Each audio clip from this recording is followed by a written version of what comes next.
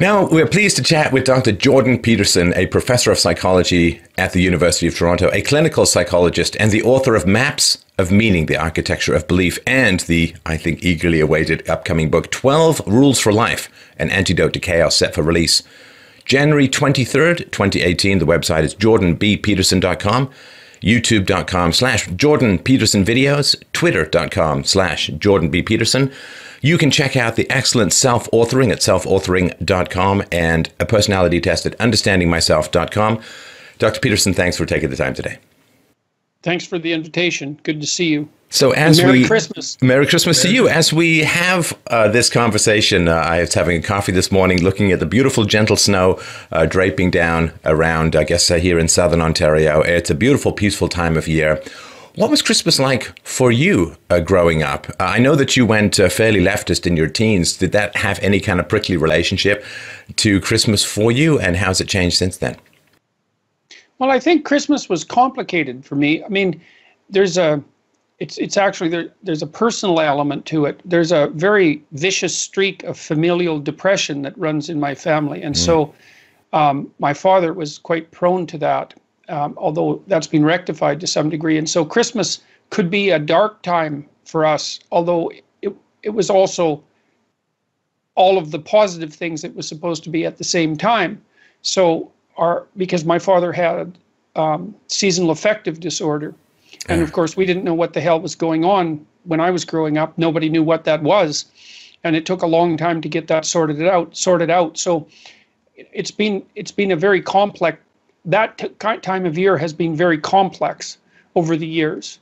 So, and then I guess the other thing is so that's the personal end of it. The more metaphysical end is, of course, that I've spent a lot of time over the last three decades trying to understand Christianity and what the the rituals and routines and stories mean. And so that's added another dimension to it. I mean, I understand, for example, the mythological idea that at the darkest point of the year, that's when the hero emerges.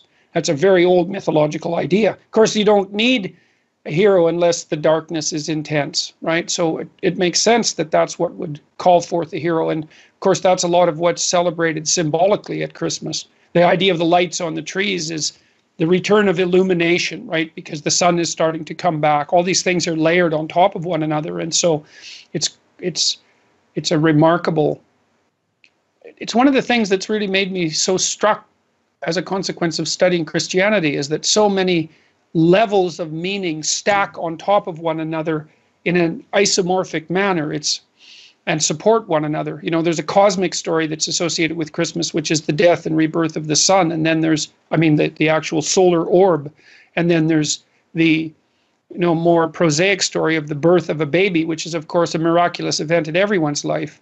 So yeah, and it's a it's a. I mean, I I feel for you with the family stuff. Both my mother's and my father's side have terrible history of mental illness, which is one of the reasons why, for me, it's sort of like if you come from a family that has terrible heart disease, you better eat well and exercise, uh, or you're going the way of the dodo. So for me, knowing what was going on on both sides of my family, very high functioning, very smart, but uh, it's almost like the uh, the train is too fast for the rails for a lot of these people. So I knew huh. I was going to need a lot of mental structure. I was going to need a lot of mental discipline. I better have self knowledge. I better do therapy. I better get into philosophy because if you can harness that power, it's great. But it seems to destroy almost as many people as it empowers. And when you have difficult family times at Christmas is really hard because the the expectation of yeah. joy and peace and the, the the movies and the commercials and and other people's houses you go to it feels like everyone else is taking off in these multicolored starships of joy and you're kind of right. left down in a dungeon and i think yes, well, this is why it's Christmas. tough for a lot of people this time of year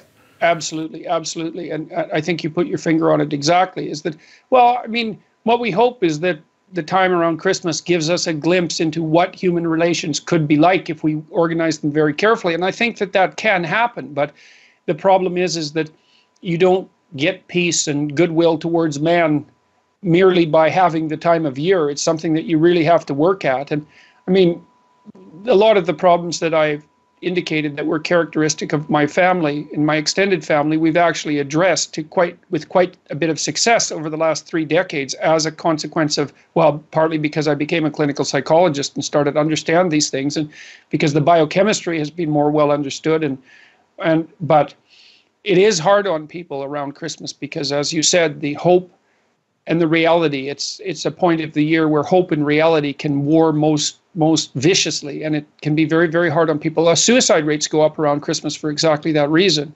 So. It's a uh, it's a magnification season. It tends to um, not exaggerate, but in a sense reveal both the strengths and joys of your relationships and the weaknesses and challenges in your relationship. And it's to me tragic, particularly because it's one of the few times in the year that you do have the time and the proximity to be able to work on your relationships. But there are, of course, families that studiously avoid that and avoid the dysfunction, which really tends to hollow out any festivity in the season.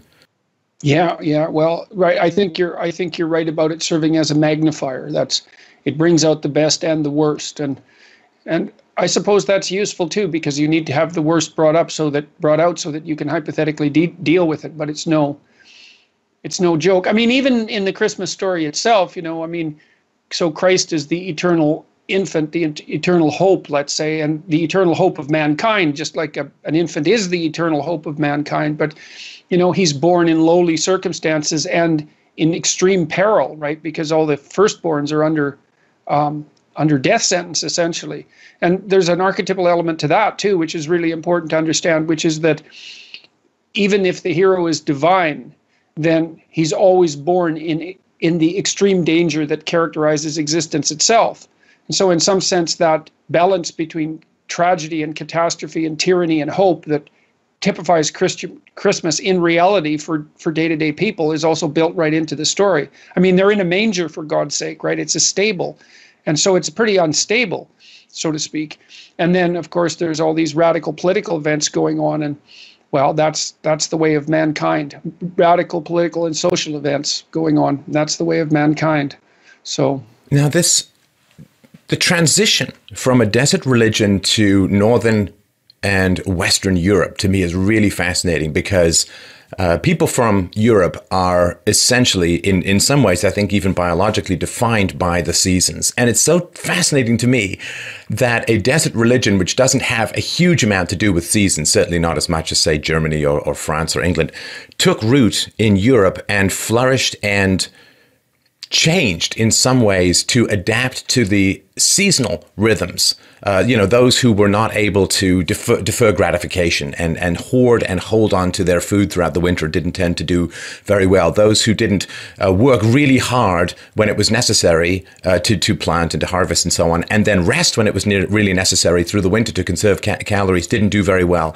So I really find it fascinating how uh, a religion that began in the Middle East ended up adapting so perfectly to the seasonal nature of European civilization.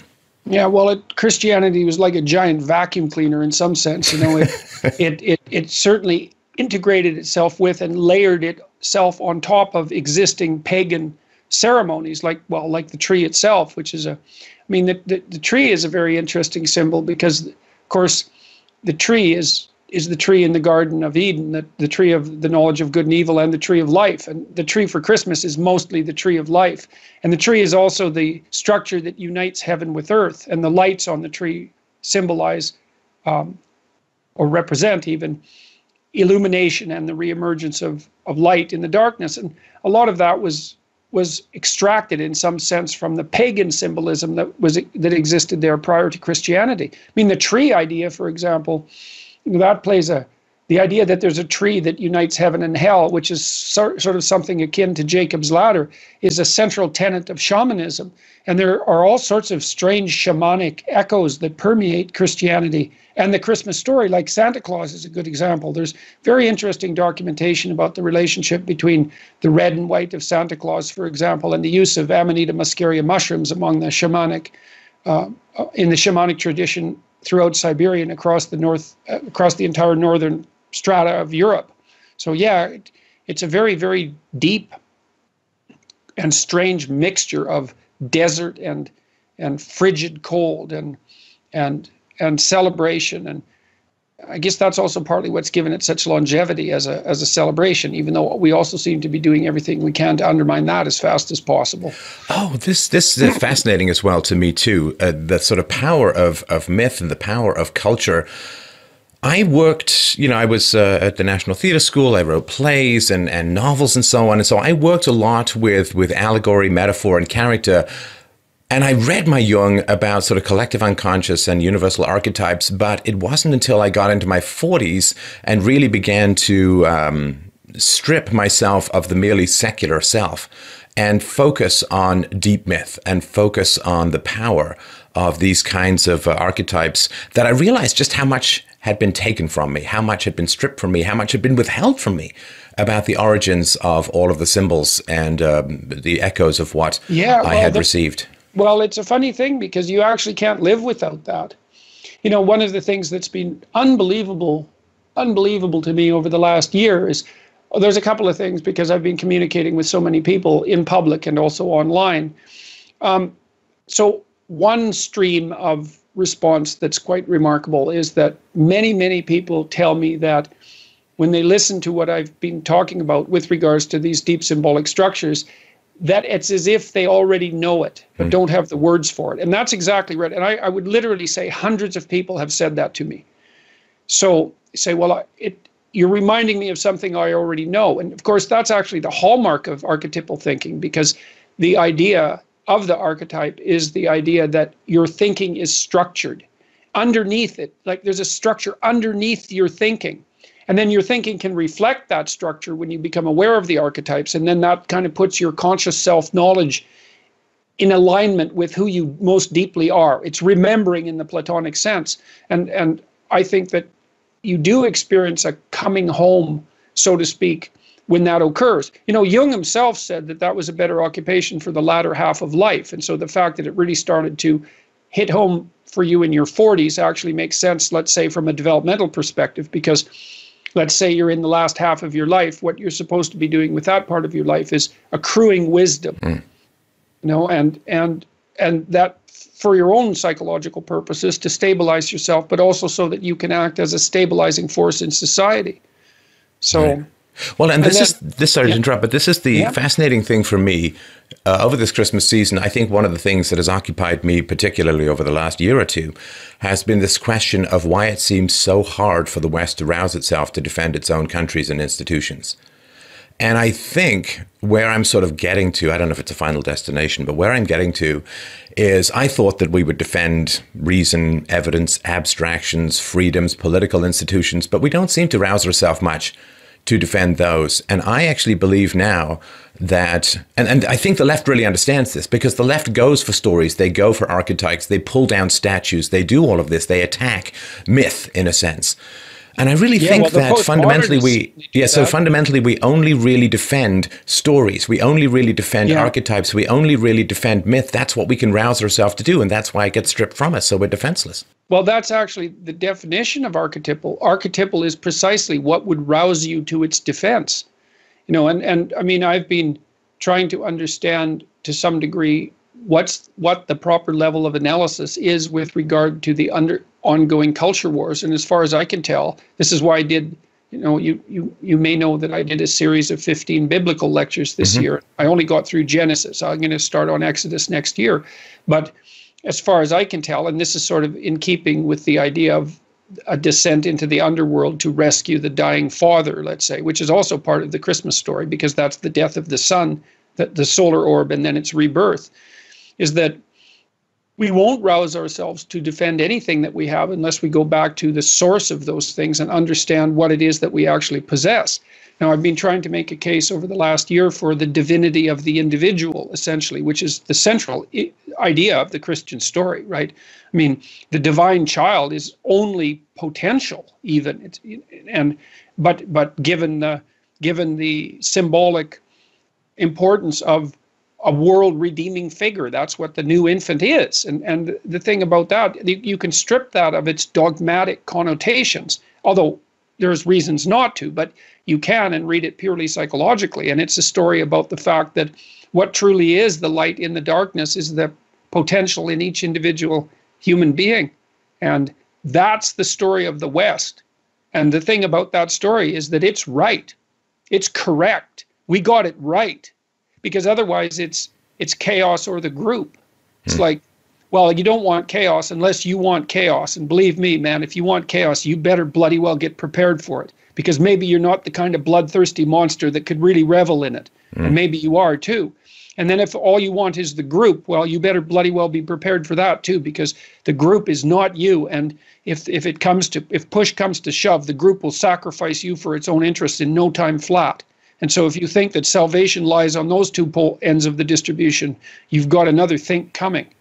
Well, that's so, the mere Darwinian lust for power. And this to me is one of the great stories that's important to remember about the first syllable of Christmas, which is Christ, which is that to me, the elemental story, and it's not that there's one, but the one that's resonating for me most at the moment, Jordan, is this idea that if you reject material power, you achieve immortality because that to me is the great temptation of the world. And and this to me is coming out of the Hollywood stuff where there is this basic satanic deal that's offered to a lot of these young actors and actresses, which is uh, you know if you surrender to my earthly lusts, if you surrender to the humiliating subjugation to pretend to find me attractive, though I'm old and grizzled and look like half a shaved bugbear, if you if you surrender, then um, I will grant you material wealth, fame, and power beyond your wildest desires. That to me is Jesus out in the desert. And right, this is a very strong thing that has happened. But Jesus, of course, by rejecting that, achieved an influence far beyond anything he could well, have, even if he'd taken the entire well, world the devil offered. It's really, it's really interesting too, because it isn't it isn't even I don't think so much a matter of rejecting it. It's it's it's it's formulating a better deal. You hmm. know, so the story of Christ in the desert is and I, have spent a lot of time. In fact, I, I, I, write about that a lot in my new book, in, in chapter seven, which is called Do What Is Meaningful, Not What Is Expedient. Hmm. And I think of meaning as, first of all, I think that meaning is the most real of all phenomena, with the possible exception of pain. But I think it might even be more real than pain because it can supplant and transcend pain. So, and meaning the, the, notion of meaning is not something that modern scientists have dealt well with in the main, although many of the, especially the physiologists like Jeffrey Gray, have done a very good job of laying the groundwork, and, and Jaak Panksepp, who's a great neuroscientist, have laid started to lay the groundwork for a neuroscience uh, oriented understanding of the phenomena of meaning. But what what happens in the desert is that what Christ tell what Christ tells the devil is that the bargain that the devil is offering is nowhere as nowhere near as good as it seems. Because he's after something greater you know. He says well man does not live with by bread alone. And the idea is that it isn't so much that that you should reject the the attractions of wealth and status and privilege and power. It's that there's something that you could pursue that's way better than that in every possible way. And that has to do with well, first of all, developing the sort of character that's capable of withstanding evil, and second, setting your sights on reducing the suffering in the world. It's something like that. It's laid out quite nicely in the Sermon on the Mount, I would say, uh, which is a very difficult document to parse through. But it's it's not all it's not all rejection. It's like why would you why would you go for leaden weight when gold is right in front of you? Hmm. And that's and I think like one of the things I've really come to understand about these symbolic representations is that they are they're metaphorical and you might call them abstract and ideal even. And so then they tend to be otherworldly. They tend to be viewed as if they're otherworldly virtues. It's nothing could be farther from the truth. The the practical advantage of genuine virtue is so striking that nothing else even exists in the same category. And and that's part of the warning in the desert. It's like well here's let me give you an example. It, it, and I don't know if this is quite appropriate, but I'm going to use it anyway. So, um, I've been following what's been happening at Wilfrid Laurier, which I find surreally remarkable. I can't I can't see how the university could be handling the scandal worse if they scripted it to be. Can you just uh, yeah, just give a quick overview for the people yeah, uh, who, who, who aren't aware? Well, what happened at Wilfrid Laurier was that a TA, uh, Lindsay Shepherd, was brought in front of what can only be termed a uh, a minor inquisition for having the temerity to show five minutes of a Canadian public television uh, show about Bill C-16 and pronoun usage, and um, she was accused of breaking provincial and federal law, violating university policy, and of being a transphobic bigot. And, and that broke because she recorded the story and leaked it. And I mean, there's been international outrage over this event, and yet the university hasn't, I don't think it's learned a damn thing. In fact, from what I've been able to tell, every move it's made in reaction to this scandal has actually made the scandal worse. And that's very interesting. But, well, one of the side stories is that on that very same TV show, The Agenda with Steve Paikin, the president of Wilfrid Laurier University, Deborah MacLatchy, was invited to talk about the university's response to this scandal. And I watched that and I thought it was so interesting to me because Deborah MacLatchy has attained worldly dominion, let's say. She's the yeah. president of a major university. It's not a trivial position. And then the interviewer, Steve Paikin, who's actually liberal left, I would say, in his fundamental orientation and inclined to be a decent interlocutor, period, and maybe even a friendly one to someone like Deborah MacLatchy, he asked her a dozen questions about whether she felt that Lindsay Shepherd had actually made a mistake and what the university was going to do about it. And what was so amazing to me was that despite her position of power and privilege, let's say, so called, she didn't utter a single word that was her own during the entire interview. It was like there was no person there at all. And what that indicated to me was that in order to attain that position, which was hypothetically, you know, an elevated position in the dominance hierarchy, um, she had to give up everything that was actually powerful, hmm. including her own voice. So, and that's that's that's a great object lesson. It's like you know you you want power, let's say, and and you want and you're willing to make a bargain with the devil to get it. And what you think is that when you get that power, you'll still be the same person that you were when you started seeking it. And the problem with that is you're not going to be the same person even a little bit. There'll be nothing left of you. And you'll be a puppet of the position rather than being the master of the position. Well, you think it's feeding you, but it's eating you. And uh, this is this is one of the great and terrible consequences to me. Uh, this is why censorship tends to escalate because if you let a little bit of censorship in, then people's muscles for dealing with oppositional ideas become weaker, which means that they become more hostile to the oppositional ideas that reveal their weakness and must keep everything at bay. And I don't know where this, well, we all know where this ends up in the long run, which then ends up in concentration camps and mass slaughter, which is then all ideas uh, become markers of ultimate evil, of anti persons, of that whom you can dehumanize and end up slaughtering, as we've seen, of course, in communism and fascism around the world throughout history.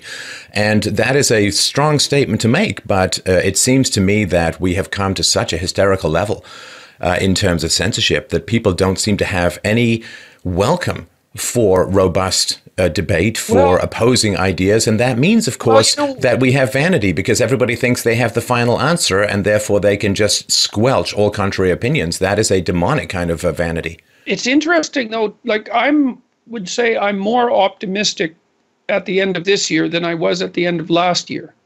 And the reason for that is that what I've seen happening, like I think the state of free expression on university campuses is to call it appalling is to barely scratch the surface. And I think that the forces that are corrupting the university are in fact spreading out spreading out into broader society. I think in corporations they're doing that through human resources. Mm. And I think the university is directly to blame for this because it's produced um, uh, let's say, investigative tools like the implicit association test, which has been misused beyond comprehension.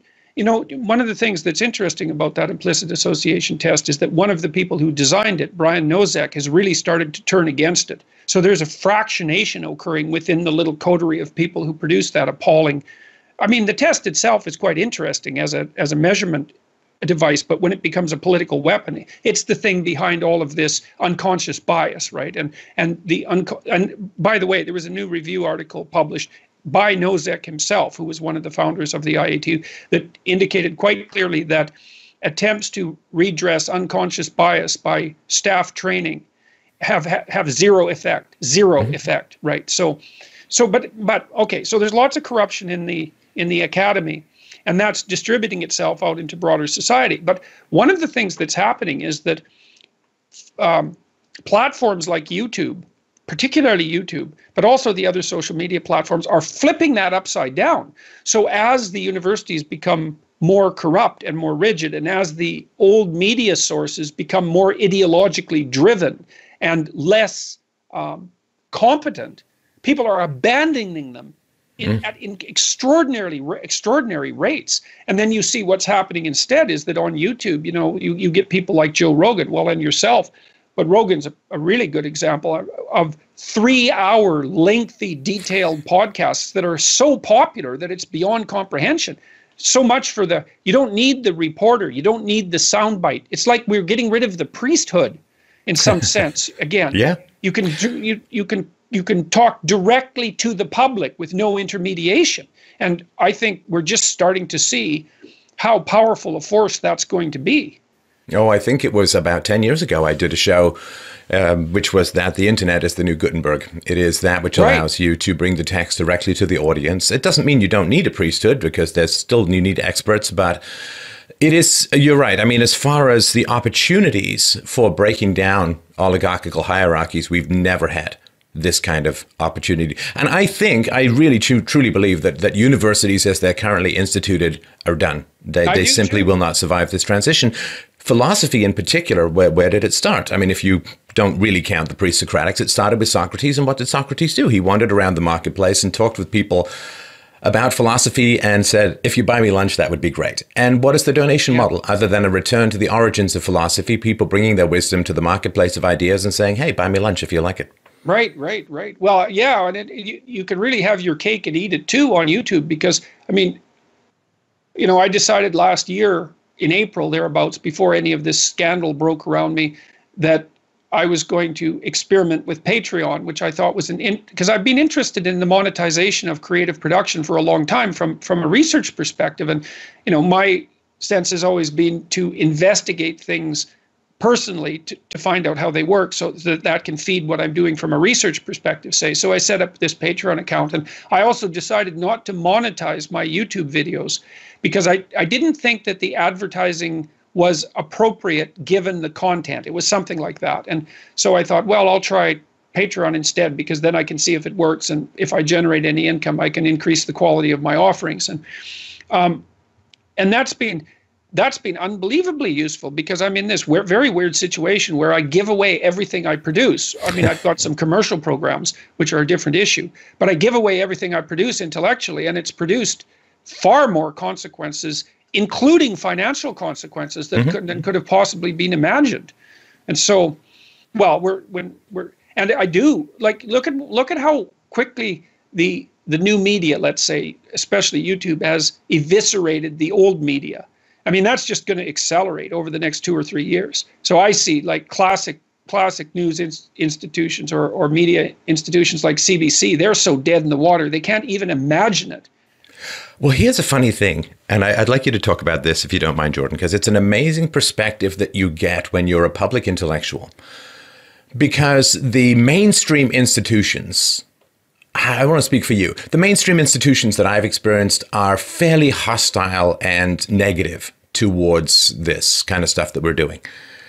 And the people, though, the people that you're actually talking to are, you know, sometimes positive, sometimes negative, engaged, robust, positive about the interaction.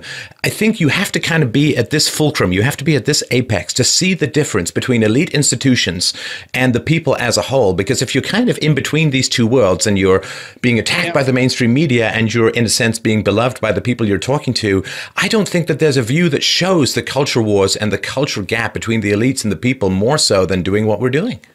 I, I agree. Uh, and it, it's, you know, it's, it's funny too, because I've been treated extremely, I would say, by the mainstream press. And by that, I mean, I've had stories about me that are so dreadful that they're hard to even take seriously because they're, it's as if they're written, well, it's as if they're written by someone from who, who who I don't understand by someone. It's sort of like i uh, would love know. to I'd love to meet this evil twin of mine about whom you well, are writing. well, and they're so badly researched that even the accusations aren't. It's hard to be offended by an accusation that doesn't even seem like it's about you. So, but by the same token, I've had many, many people, credible people in the mainstream press, mount extraordinarily strong defenses of what I've doing, what I've been doing, but also of the principles that I've been trying to put forward. You know, like and and I would say that includes the most powerful columnists and media people in Canada. It's not all of them, obviously, but it's been people like Margaret Wente and Conrad Black and um, Rex Murphy, who's who's just a de- who's deadly with the pen and with his voice, and Antonella Artuso, and like a very a large, and I, that's not an exhaustive list by any stretch of the imagination. But I mean, I also get the impression from from those people, some of whom I've got to know quite well, that they're like they're cast adrift from a sinking ship ship in a very unstable life raft and th- those are people who wielded tremendous journalistic power. They're, they feel that there's no stability whatsoever in their future because they can see the old media forms rocking and being pulled apart like mad. And you know the fact that this is happening so quickly to the classic to classic media to me indicates exactly what's going to happen to the universities. Their so their model is so flawed. So I've been thinking about I've watched major institutions fall apart, corporations, and I, and I see how it happens, and it, it accelerates once it starts to happen rather than decelerating. But imagine it's way too expensive to educate a university student. It's probably 10 times too expensive, about $50,000 a year in Canada and more in the US. It's administratively top heavy beyond belief. They're producing all these kangaroo courts and, and emphasis on diversity, inclusivity, and, and equity at the expense of actual intellectual endeavor. The ethics committees are impeding uh, high quality scientific research. Students are being laden with debt loads that are absolutely unsustainable. The faculty is being stripped of their power and replaced by adjuncts. The the um, accreditation process is becoming completely untrustworthy because of a of de-emphasis on qualitative distinctions. It's like there's there's and and the and the universities itself especially in the humanities which is the heart of the universities have become ideologically possessed to such a degree that they no longer even offer what it was that you were supposed to be paying for to begin with. So as far as i can tell they're done. That's yeah. what it looks like to me. So you know it's going to a huge thing takes a long time to fall over. But you can see you know here's an example. You know if you're in a oil tanker and you see a you see an iceberg in your path let's say.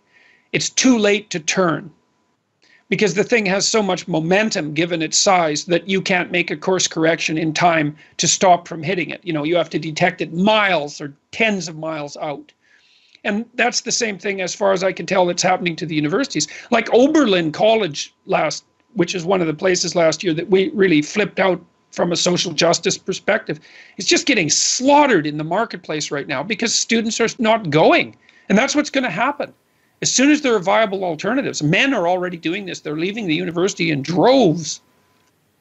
Well, I mean, I think everything, almost everything rots behind the high walls of state power, and this protection from the marketplace the rawest and most productive intellectual exercises, I think, are happening on the edge of the marketplace of ideas. And that's YouTube, that's where people do podcasting and so on, where there is not that filter. There is not that self censorship. There is not that necessarily concern with long term career, but there is a dedication to the truth and the audience. And I think what's going to happen is right now, having a university degree is still considered on the balance a positive by employers. But I think that once they realize what's being taught, how much hostility towards whites, towards males, towards the free market, towards you name it, I think at some point there's going to be a tipping point, and uh, the the employers are going to say, "Oh, you have an arts degree from X Y Z institution." Well, that means that you're going to be dangerous and a liability. Oh, yeah. It's it's oh, yeah. an, inverse I, IQ test oh, almost oh, now. And the other already, thing is, if you're smart happened. enough to not go to university, that's going to be a kind of proxy IQ test for them as well. Well, the, the corporations are learning. I mean, they knew that that they've known for a long time that say if you have an arts degree you still have to be trained specifically to do whatever job you're being hired for but they could assume a certain level of of literary competence and capacity to learn, let's say. So there was value there. But the co- corporations are are certainly starting to to understand that they could hire people younger, even before university, and train them themselves, and and just circumvent all that ideological idiocy, and also offer people a lower starting salary because they're not burdened with with debt.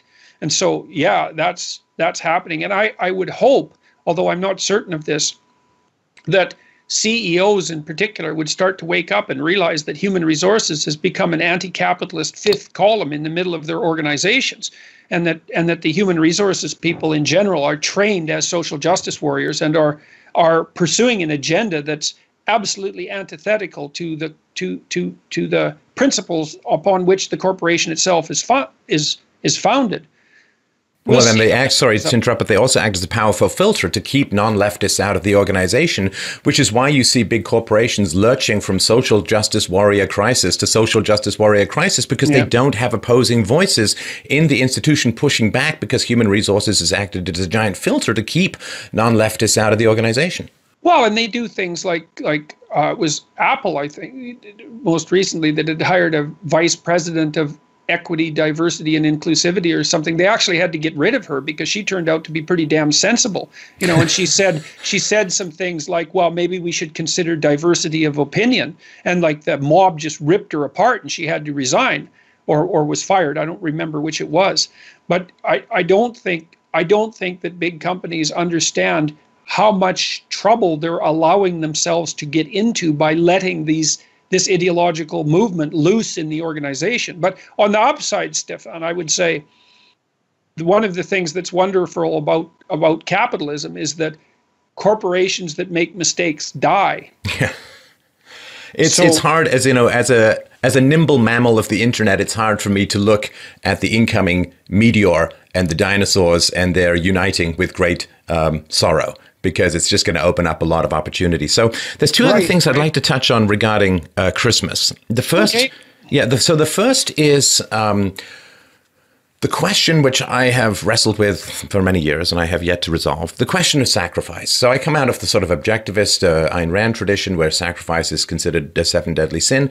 I've really revised that over time because there are certainly times as a public thinker that uh, it does feel a little bit like there's some sacrifices involved, to put it mildly, but it's worth it. And this question of sacrifice, uh, Christmas is a lot about self indulgence in terms of materialism, which I have no particular problem mm-hmm. with, in terms mm-hmm. of good eating, which I also enjoy to do.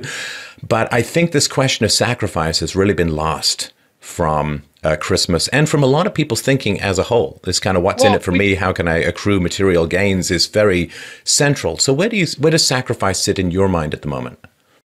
Well, in these biblical lectures I did, I talked about sacrifice a lot because we we walked through Genesis and of course especially from Cain and Abel forward, which is basically right from the beginning of the document, there's a tremendous emphasis on the rituals that are associated with sacrifice. And sacrifice is an unbelievably powerful idea. It's, it's perhaps the most brilliant idea of mankind because the sacrificial idea is you can give up something of value now strategically and carefully, ethically, and be rewarded for it manifold in the future. And that's basically the discovery of the future. It's the same thing because when you discover the future, it means that you have to start to think strategically about your actions in the present in relationship to the future. And that's a sacrificial attitude because what happens is you realize that things that could bring you impulsive pleasure right now, getting while the getting's good, is not a good medium to long term strategy and might not be a good individual or collective strategy. So, so here's one way of thinking, about, and this is where I think Ayn Rand was wrong. Like there's very little difference between so there's the you I'm talking to, right? But there's the you that hypothetically extends, let's say, 30 years out into the future. Mm. And so you could think there's the day to day you 30 years into the future, and the week to week, and the month to month, and the year to year you. And in some sense, that you that extends into the future isn't much different than other people. You know, so if you're acting in the moment to ensure that your long term uh, thriving is is potentiated, you're going to act in a manner towards yourself that's not much different than the way that you would react to others that you were treating properly. And so I would say, like Rand's problem is, is that I think that she draws too tight a line between competition, say competition, selfishness, and public good. Those don't those do not have to be antithetical. In fact, I don't think they are. I think that when you act most wisely in your own best self interest, you simultaneously act in the best interest of the people around you, and broader society. And that's that's part of this stacking up of, of levels of analysis. You can have your cake and eat it too. And so the reason that you should regulate your impulses, let's say, and discipline yourself isn't so that you can suffer the kind of privation and self sacrifice in relationship to being an altruist that Ayn Rand complained about with good reason. It's because you want to regulate and discipline yourself because that way you can serve a master, let's say, that serves everything at once and I, I, I, have ceased believing that that's a that that's merely a metaphysical statement. You know, like if I conduct myself so that my family maximally benefits along with me, how could that be anything but good also for me? So, right. so sacrifice properly understood isn't. It's again, it's back to our earlier discussion. It's not the rejection of worldly goods. It's not self-abnegation and and and flagellation. It's the replacement of a relatively unsuccessful strategy, power, domination, like worldly pleasure, let's say, with a ethic that's inconceivably better on all dimensions. Right. So here's the big challenge as well. I guess this is maybe just asking for advice around the question of forgiveness. So forgiveness to me has become very muddied of late. Mm. And the reason for that is that I understand that if someone wrongs me and they show contrition, they apologize, they make amends, and I refuse to forgive them, that's giving me unfair and unjust power over them. And that's a wrong thing for me to do. On the other hand, if someone has wronged me, refuses to admit wrong, escalates, and, and so on, then forgiveness is not earned. And I think it's unjust to, to provide forgiveness to someone yeah. like that. And so the idea that forgiveness is something to be earned, that forgiveness should be willed regardless of whether it's earned or not, that's something I'm still spinning okay. kind of my wheels around. Yeah, yeah. Well, that, okay, there's a couple of things there. I mean, I would say in the Christian tradition, re- forgiveness and repentance have always been tightly allied you can't separate them. And so, and I would also say that the best source for that I've found for walking through that particular dilemma is Solzhenitsyn's Gulag Archipelago. Mm. Because, especially in the second volume, he addresses very specifically okay, so here's the scenario. So you're in a Gulag concentration camp, and that's not very pleasant. And the newest inmate is a high ranking communist official who's just been devoured by the system that he produced. And he's and he's now done in, in every possible way. What do you do with him? Because he's simultaneously victim and perpetrator. And Solzhenitsyn walks through that very carefully. And his, his fundamental realization, I think, is something along the lines of don't cast pearls before swine. So Solzhenitsyn's meditation led him to the conclusion that as long as the victim is still the perpetrator. So, still putting forward, say, these communist propositions and identifying with the state and feeling that they're an unjust but innocent victim and everyone else in the prison is guilty, then there's no communication with them. They're mm. still in the valley of the damned. But as soon as they break and realize the catastrophe that's occurred to them and start to question the validity of the system, then you offer a hand and help pull them out of the mire, right? Because that's when they repent. And like, let's say you want to forgive someone. Maybe there's two reasons for that. One is because you could help redeem them, but the other is so that you don't have to carry the weight of the hatred and resentment. Hmm. Right. And so there's a certain amount of psychological utility in having a forgiving attitude just so you don't carry around any more slings and arrows than you have to. So that's pure self-interest. With regards to forgiving someone, though, in a more in a deeper sense, it's like repentance is vital to that process. I'll forgive you, assuming if you wrong me, I'll forgive you if you come and say, "Well, look, here's here's why I wronged you. Here's the specific things that I was thinking that were wrong and the specific things that I was doing that were wrong motivating me that led me to transgressing against you. I've laid them out as my sins, let's say. I figured out a way that I won't do it anymore. I figured mm. out why I shouldn't do it anymore. And so, can we wipe the slate clean?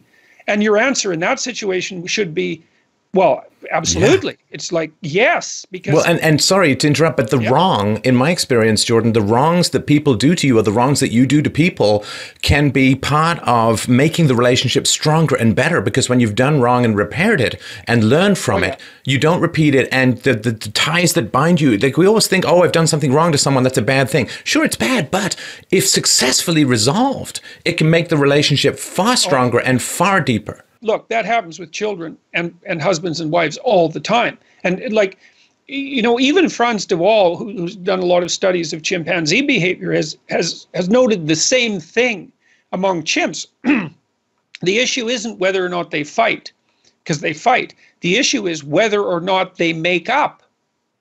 And that is it. It's like there's going to be conflict in a relationship, and who's doing wrong to who is not ob- not often obvious to begin with. True. A lot a lot of arguments are about that. Well, no, I think you did it wrong. No, I think it's you. No, I think it's you.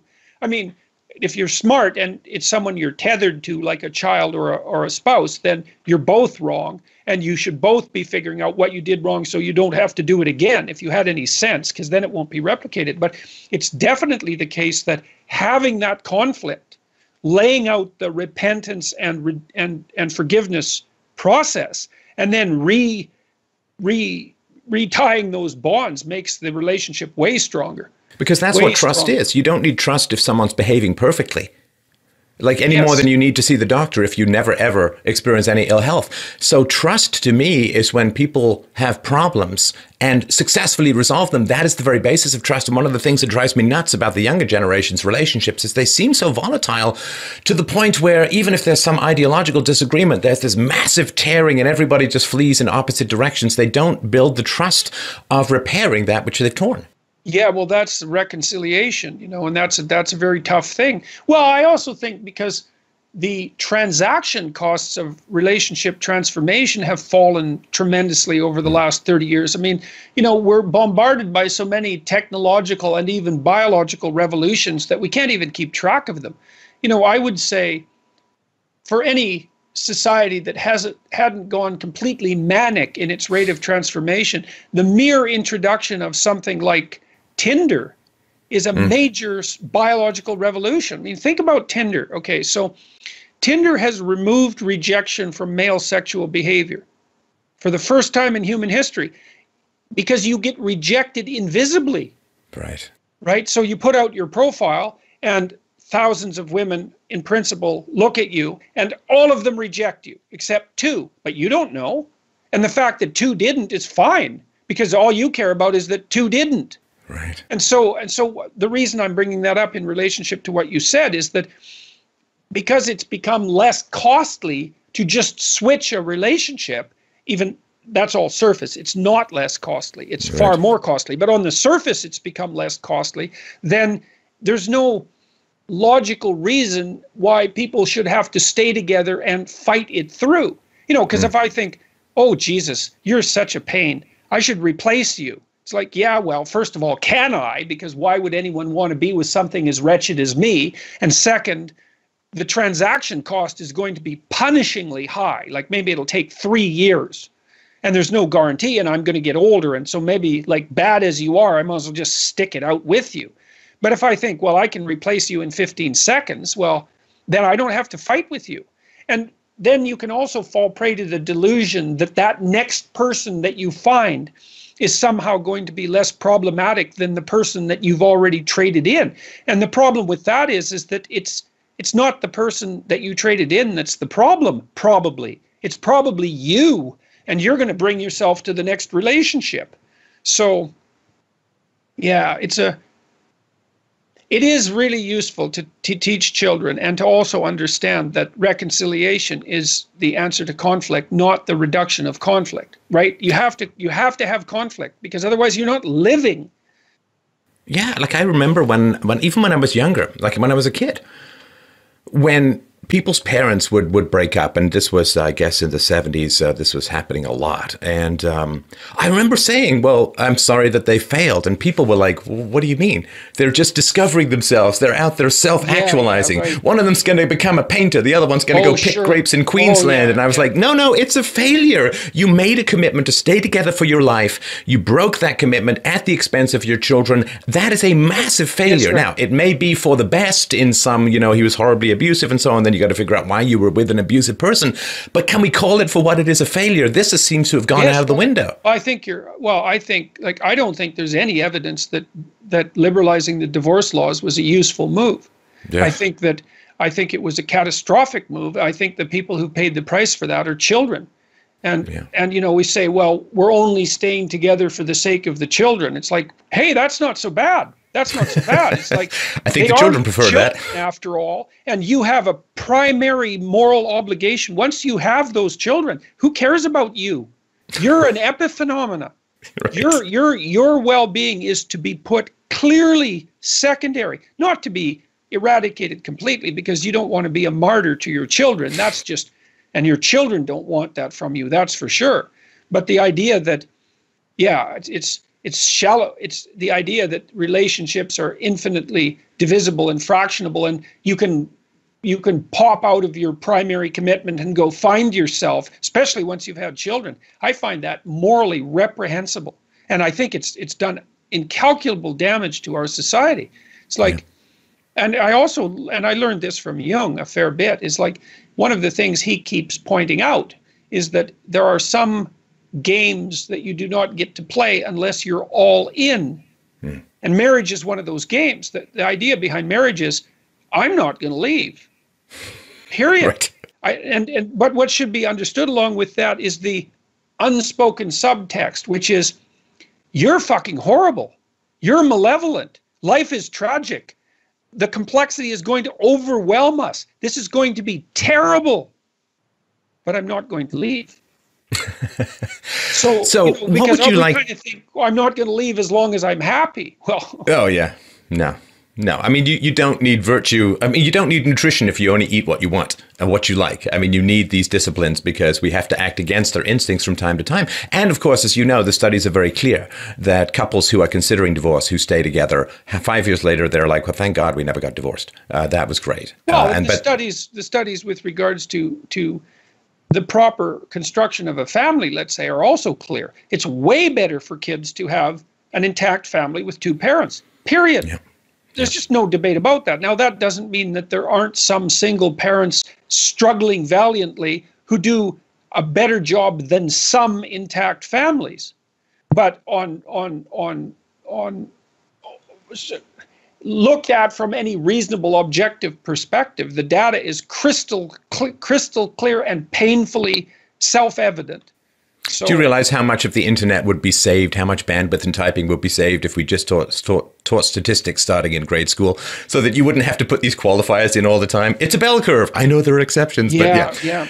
yeah so well, let's um let's close with um, what you would like to say to the, I guess, the millions of people who are going to end up listening to and, and watching this. Uh, what's your Christmas message, uh, particularly, I guess, looking forward into, I think, what's going to be an extremely exciting year in 2018? Well, let's let's think about it sociopolitically. Let's let's manifest some hope and say, well, it is a dark time and we're badly polarized, and this is the perfect time for the rebirth of the hero, and that's what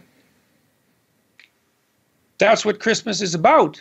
And it's about that at every level. So you can allow that to be reborn in your own heart. That that you know, and the birth of Christ is the birth of the logos, right? The word that sets that that extracts order out of chaos. It's the thing that always, always, eternally sets things right. That's what we're celebrating at Christmas. And you want to welcome that into your heart and into your family. Because if you don't, you're lost. This this stuff is so these these ideas are so necessary and so vital that you cannot live without them. And so it's useful to to understand profoundly what Christmas means. It means that the logos is eternally reborn at the darkest period of time. And if you're not on your knees in gratitude for that, then you know very little about the horrors of the world. Right. Well, thank you very much. I also want to thank you, of course, uh, at a personal level for the work that you're doing out there in the world, for some of the great conversations we've had. Uh, I look forward for many more to come, and uh, thanks so much for your time this season. Good talking to you. Thanks for the invitation, and Merry Christmas. Merry Christmas.